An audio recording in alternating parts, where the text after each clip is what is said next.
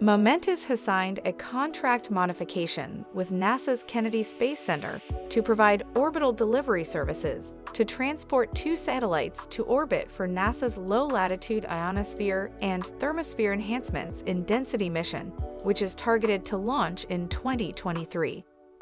This company says that the mission will highlight the unique features of Momentus Orbital Service Vehicle which can transport a customer from the launch vehicle's standard drop-off orbit to a specific orbital destination using its high delta-v capability. Momentus says that this feature aims to provide significant changes in velocity, which propel payloads to their desired custom orbit.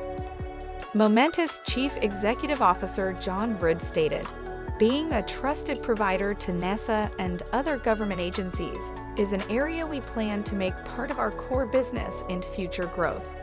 The capabilities and flexibility of our OSV are well suited to support a range of complex missions for government and commercial customers. Selected in 2018 as a part of NASA's CubeSat launch initiative, the Low Latitude Ionosphere and Thermosphere Enhancements in Density mission features two 1.5 unit spacecraft designed, built, and operated by the Aerospace Corporation.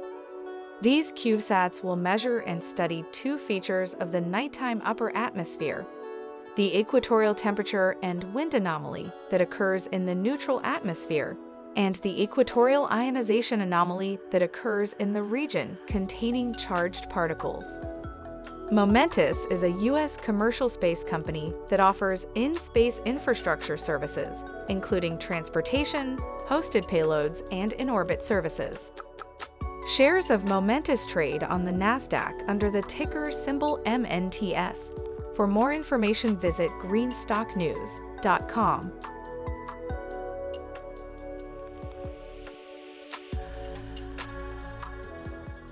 Thanks for watching Greenstock News. If you liked the video, please hit the like button.